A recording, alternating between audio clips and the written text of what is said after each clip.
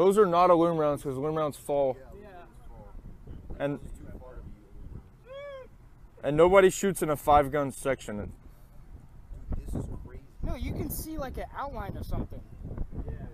My phone. It's moving. Fucking. Take What do me you got? to your leader. Oh hell no. Yo, we got aliens out here, dog. My phone camera says. Yo, this is fucking weird. We got UFOs outside. Yo, like we're everyone's.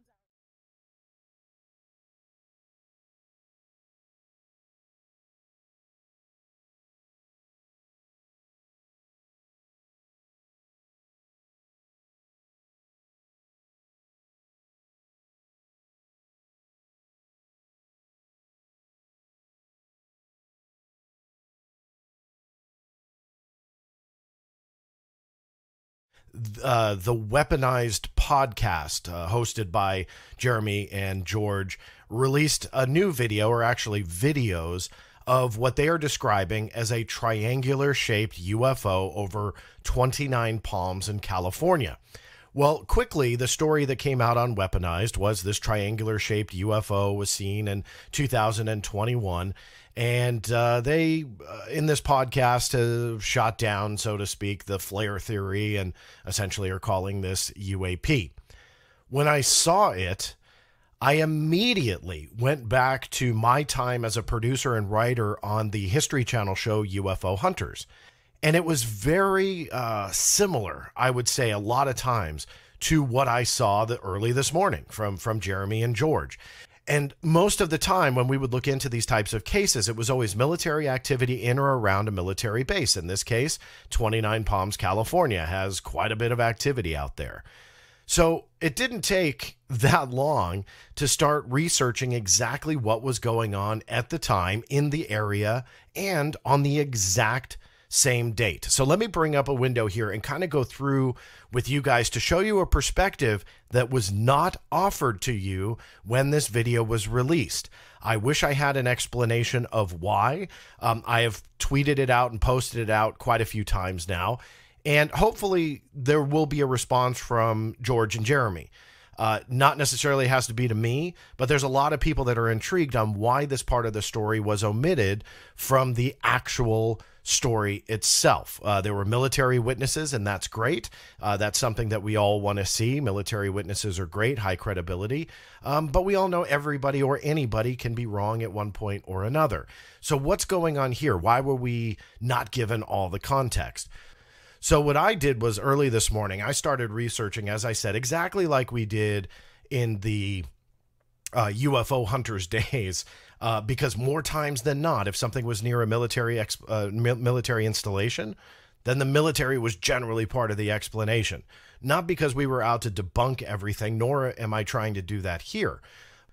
So what I did discover, uh, doing again that that same type of approach, was that on the date April twentieth, two thousand and twenty-one, it was during a training exercise which lasts about seven weeks at the Marine Corps Air Ground Combat Center in 29 Palms, California, the exact same spot where Jeremy and George reported this uh, triangle UAP took place.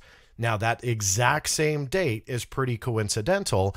And when you dig in a little bit further, you realize on the exact same night, there were numerous ground operations. These are officially released DoD photos of, uh, you can see Marine Aviation Weapons and Tactics Squadron 1. The date taken, you can see down here, is April 20th, 2021, the exact same date and same night as the UAP was taken. And this uh, particular operation was well underway with multiple aircraft. You can see some of the helicopters here that were on the ground and launched and deployed that that night, including ground forces when you really dig into that activity. Here is a little bit more. You can see this video. Let me zoom in on it. Uh, this is some of the footage from that night, that very night. You can see how much activity. I won't play the whole thing for you, uh, but I will scrub through a little bit so you can kind of see exactly uh, what was going on. You can see all of the nighttime operations, both on the ground, in the air. You can see how much activity there really was on the base. Now, again, this is the exact same night. This is the exact same locale. This is the exact same military installation in 29 Palms, California. Now, when I first posted this, I wanted to see how many people would actually play the video. It's five minutes in length. And again, you see all sorts of cool nighttime footage. It's all B roll. You get it from the Department of Defense. So, people like me that were working in television, this stuff was gold because when you were talking about, let's say, 29 Palms, you could go to the Department of Defense and get actual B roll from 29 Palms and show some of the military activity. But if you play to the very end, watch this. Uh, we're getting there. We're getting there. A couple more seconds. Look at that. How many lights do you see? One, two, three, four, five. Now, obviously, this was a DoD video, so shot much closer than those iPhone video clips that I showed you earlier. You could see they were way far in the distance. And when you watch, you can see they're pretty far out there, which may explain the quote unquote silent attribute that many of the witnesses were talking about. This obviously is much, much closer. Now, let me preface this next section by saying I am not going to bet my house on the fact that what we are looking at are these particular aircraft flares. But stick with me for a minute because I'll let you decide on whether or not you are convinced it is. So, obviously, the five lights match. This was the exact same night as the April 20th, 2021 um, UAP event. You can see it down here again, April 20, 2021. This was the page for the official release of that DoD video that I just showed you. So it was all shot on the same evening. Now, as the morning progressed, and I'm posting all this stuff out there, um, people are starting to catch on. Hey, wait a minute. Why was all of this context omitted from the story? Now, I wish I had an answer for you on that, but I don't. So, why did Jeremy and George conveniently leave that out? They said that they spent two years researching this particular case, and that's great. It, it needs to be researched and I can completely understand vetting sources and looking into this. The problem is is that you've removed an entire context to the story. That could very well be a UAP and heck, it could very well be an alien craft. Highly unlikely, but let's just go with that for a second. Why would you leave out the entire context of a major military operation and training exercise that was going out uh, going on on the same night in the same location. So let me show you a couple more visuals before I end this to kind of drive the point home. That was the still frame from the video. Again, just uh, uh pointing out that there are five lights, just like that UAP shot on 420 2021. Five lights there. Now, some may look at it and go, well, wait a minute, John, that's not an exact match. So maybe it's close. Maybe they are five lights, but who, no, there, there's no way because there was so many witnesses and so on and so forth. So I posted all of this out. Now check this out. Mick West posted this, and I know that Mick West is known as the debunker. He calls himself a debunker. But watch what he does here with what I posted and he he mirrors the image it looks like. And you can see there he, he mirrors it. Just just means that maybe like it's a uh, an iphone a back of the iphone or something like that. And watch what he does. Now there is no possible way that this would just be simply a coincidence. You can see he shows everything that he does. These are the images i posted and anybody can confirm this your left side is the official DoD release of footage from the military exercise. The right is one of the photographs that Jeremy had released on Weaponized along with all the other uh, videos. And you can see it is a near match on where all those lights are placed. Now, what are the odds that all of that is just simply a match and, a, and it's all a coincidence? In my opinion, not very. So, to drive the point home, you've got the same night, the same number of lights, the same exact configuration, all matches up, yet you were not told about the context of any of that. And in the two years, this is the two ways to look at it. In the two years, they never found it or they maliciously held it from you.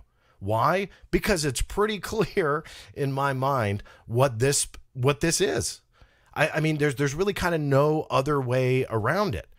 Um, if you if you have if you have an explanation, if you have some kind of alternative theory, I'm all for it. But you have to to then explain how the configuration matches. And if it wasn't clear enough, because um, I'm not sure if I if I did point it out properly, um, just to do one last thing, let me see if I can even zoom in. It doesn't really work. You can see the trails. So forgive me if I did point that out earlier, but I wanted to make sure that I said that one last time that you can see those trails as those flares descend. So I think that to me, there's a, a, a, an obvious connection here, and why all that context was was removed, I have no idea. So as of the recording of this video, I've seen the Daily Mail cover it the same usual suspects, Josh Boswell and Chris Sharp, uh, who I believe I've either talked on this show or other shows about the lack of research when reporting on these topics. Now, of course, they're beloved in the UFO conversation by many, uh, simply because they tell people, I think, what they want to hear.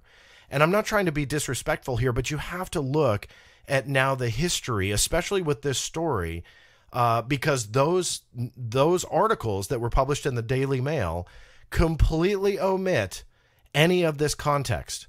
So, what are they doing? Are they just simply parroting what they are told from Jeremy and George? Well, that's bad in itself. That's not journalism, that's PR. Or are they just not caring at all? To, to maybe they did find this and go, oh, that kind of ruins our our narrative here. So let's just go ahead and omit all that no matter which way you slice it or dice it, it doesn't look good. So it's not that I'm trying to attack these individuals. I'm sure they're fine people. I don't know them personally.